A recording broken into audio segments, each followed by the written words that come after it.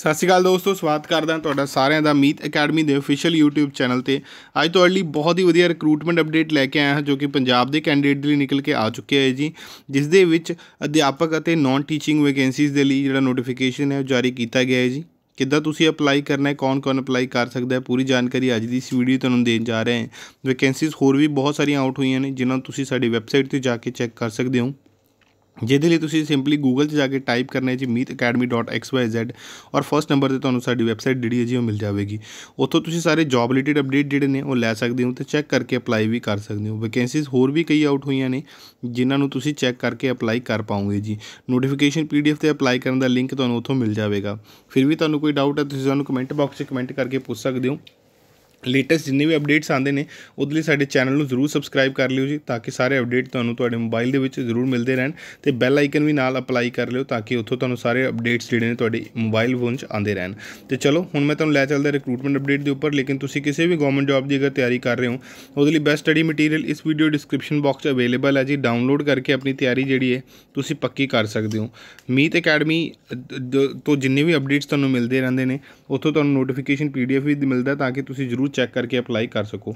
ਤੇ ਨਾਲ ਦੀ ਨਾਲ ਜਿਹੜਾ ਪੀਡੀਐਫ ਹੈ, ਤੁਸੀਂ ਉਹਨੂੰ ਡਾਊਨਲੋਡ ਕਰਕੇ ਮੋਬਾਈਲ ਕੰਪਿਊਟਰ ਲੈਪਟਾਪ ਕਿਤੇ ਵੀ ਰੱਖ ਸਕਦੇ ਹੋ ਤੇ ਆਪਣੀ ਤਿਆਰੀ ਕਿਤੇ ਰਸਤੇ ਜਾਂਦੇ ਹੋਏ ਵੀ ਤੁਸੀਂ ਕਰ ਸਕਦੇ ਹੋ। ਤੇ ਚਲੋ, ਹੁਣ ਮੈਂ ਤੁਹਾਨੂੰ ਲੈ ਚੱਲਦਾ ਰਿਕਰੂਟਮੈਂਟ ਅਪਡੇਟ ਦੇ ਉੱਪਰ ਤੇ ਉੱਥੇ ਜਾ ਕੇ ਤੁਹਾਨੂੰ ਬਾਕੀ ਦੀ ਇਨਫੋਰਮੇਸ਼ਨ ਤੁਹਾਡੇ ਨਾਲ ਸ਼ੇਅਰ ਕਰਦਾ ਜੀ।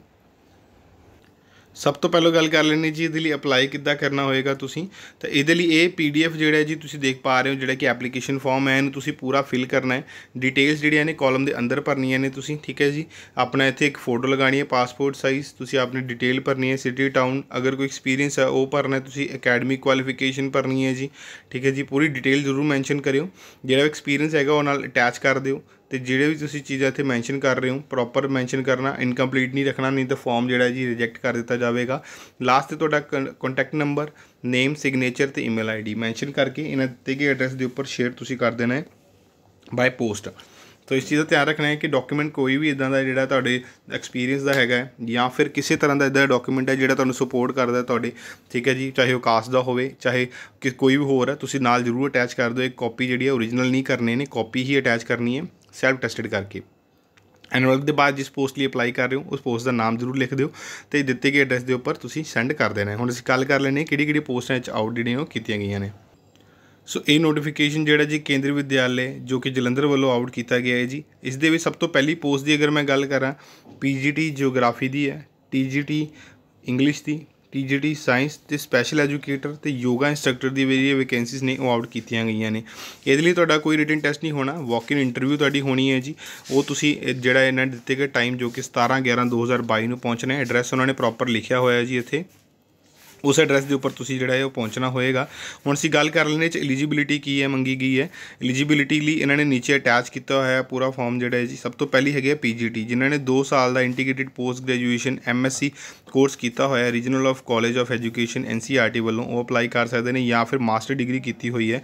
50% ਮਾਰਕਸ ਦੇ ਨਾਲ ਪੀਜੀਟੀ ਜਿਓਗ੍ਰਾਫੀ ਦੇ ਵਿੱਚ ਤਾਂ ਉਹ ਉਹਦੇ ਲਈ ਅਪਲਾਈ ਕਰ ਸਕਦੇ ਨੇ, ਜਿਨ੍ਹਾਂ ਨੇ ਬੀਐਡ ਕੀਤੀ ਹੋਈ ਇਸ ਦੇ ਇਕੁਇਵਲੈਂਟ ਕਿਸੇ ਵੀ ਰਿਕੋਗਨਾਈਜ਼ ਯੂਨੀਵਰਸਿਟੀ ਤੋਂ ਪ੍ਰੋਫੀਸ਼ੀਐਂਸੀ ਹੈਗੀ ਹੈ ਹਿੰਦੀ ਇੰਗਲਿਸ਼ ਮੀਡੀਅਮ ਪੜ੍ਹਾਉਣ ਦੀ, ਤਾਂ ਉਹ ਇਹਦੇ ਲਈ ਅਪਲਾਈ ਜਿਹੜਾ ਉਹ ਕਰ ਸਕਦੇ ਨੇ ਜੀ। ਉਸ ਤੋਂ ਬਾਅਦ ਟੀਜੀਟੀ ਦੀ ਵੈਕੈਂਸੀ ਹੈ English Hindi SST Sanskrit math science Punjabi ਦੇ ਲਈ। 4 ਇਅਰ ਦਾ ਇੰਟੀਗ੍ਰੇਟਿਡ ਕੋਰਸ ਕੀਤਾ ਤੁਸੀਂ 50% ਮਾਰਕਸ ਦੇ ਨਾਲ, ਤਾਂ ਤੁਸੀਂ ਅਪਲਾਈ ਕਰ ਸਕਦੇ ਹੋ। ਜਾਂ ਫਿਰ ਇਸੇ ਦੇ ਨਾਲ ਤੁਸੀਂ ਜਿਹੜਾ ਬੈਚਲਰ ਆਫ ਡਿਗਰੀ ਕੀਤੀ ਹੋਈ ਹੈ। 50% ਮਾਰਕਸ ਦੇ ਨਾਲ ਕੰਸਰਨ ਸਬਜੈਕਟ ਦੇ ਵਿੱਚ, ਠੀਕ ਹੈ ਜੀ ਇੰਗਲਿਸ਼ ਹਿੰਦੀ ਜਾਂ ਐਸਐਸ ਹਿਸਟਰੀ ਦੇ ਵਿੱਚ ਜੀਓਗ੍ਰਾਫੀ ਇਕਨੋਮਿਕਸ ਪੋਲ ਸਾਇੰਸ ਦੇ ਵਿੱਚ ਤਾਂ ਤੁਸੀਂ ਇਹਦੇ ਲਈ ਅਪਲਾਈ ਕਰ ਪਾਓਗੇ ਜਾਂ ਫਿਰ ਤੁਸੀਂ ਸਾਇੰਸ ਦੇ ਲਈ ਬੋਟਨੀ ਜੀਓਲੋਜੀ ਕੈਮਿਸਟਰੀ ਦੇ ਵਿੱਚ ਕੀਤੀ ਹੋਈ ਹੈ। ਸੰਸਕ੍ਰਿਤ ਦੇ ਲਈ ਸੰਸਕ੍ਰਿਤ ਸਬਜੈਕਟ ਦੇ ਨਾਲ ਕੀਤੀ ਹੋਈ ਹੈ ਜਾਂ ਟੀਜੀਟੀ ਦੇ ਲਈ ਬੈਚਲਰ ਡਿਗਰੀ ਤੁਸੀਂ ਮੈਥ ਦੇ ਨਾਲ ਕੀਤੀ ਹੋਈ ਹੈ। Physic chemistry electronics computer science statics ਦੇ ਵਿੱਚ ਤਾਂ ਅਪਲਾਈ ਕਰ ਸਕਦੇ ਹੋ ਤੇ ਪੰਜਾਬੀ ਦੇ ਲਈ ਪੰਜਾਬੀ ਸਬਜੈਕਟ ਦੇ ਨਾਲ। ਤੇ ਉਸ ਤੋਂ ਬਾਅਦ ਨੈਕਸਟ ਅਗਰ ਗੱਲ ਕਰਾਂ, ਤੁਹਾਨੂੰ ਕੰਪਿਊਟਰ ਦੀ ਨੌਲੇਜ ਜਿਹੜੀ ਹੋਣੀ ਉਹ ਜ਼ਰੂਰੀ ਹੋਏਗੀ। ਉਸ ਤੋਂ ਬਾਅਦ ਇਹਨਾਂ ਨੇ ਬਾਕੀ ਸਾਰੀ ਡਿਟੇਲਸ ਜਿਹੜੀਆਂ ਨੇ ਉਹ ਨੀਚੇ ਮੈਂਸ਼ਨ ਕੀਤੀਆਂ ਹੋਈਆਂ ਨੇ, ਕਿਹੜੇ ਕਿਹੜੇ ਸਬਜੈਕਟ ਲਈ ਕੀ ਕੀ ਹੈ। ਤੁਸੀਂ ਜਿਸ ਵੀ ਸਬਜੈਕਟ ਲਈ ਅਪਲਾਈ ਕਰਨਾ ਚਾਹੁੰਦੇ ਹੋ, ਜ਼ਰੂਰ ਇੱਕ ਵਾਰੀ ਨੋਟੀਫਿਕੇਸ਼ਨ ਪੀਡੀਐਫ ਨੂੰ ਚੈੱਕ ਕਰ ਲੈਣਾ ਜੀ। ਤਾਂ ਚੈੱਕ ਕਰਕੇ ਤੁਸੀਂ ਇਹਦੇ ਲਈ ਅਪਲਾਈ ਜਿਹੜਾ ਉਹ ਕਰਨਾ ਹੋਏਗਾ। ਤਾਂ ਜਿਹੜੀਆਂ ਵੀ ਪੋਸਟਾਂ ਆਊਟ ਹੋਈਆਂ ਨੇ, ਪੂਰਾ ਚੈੱਕ ਕਰਕੇ ਜ਼ਰੂਰ ਅਪਲਾਈ ਕਰਿਓ ਨੋਟੀਫਿਕੇਸ਼ਨ ਪੂਰਾ ਭਰ ਕੇ ਭੇਜਿਓ।